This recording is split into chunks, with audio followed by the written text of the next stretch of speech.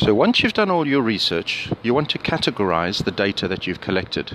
So it's like a shopping basket full of all kinds of products. You might want to categorize them fresh produce versus non fresh. You might want to categorize in terms of meat, poultry, grains, starch, vegetables, those kinds of categories. So look at your data and then categorize it and then analyze it. Change the categories and compare.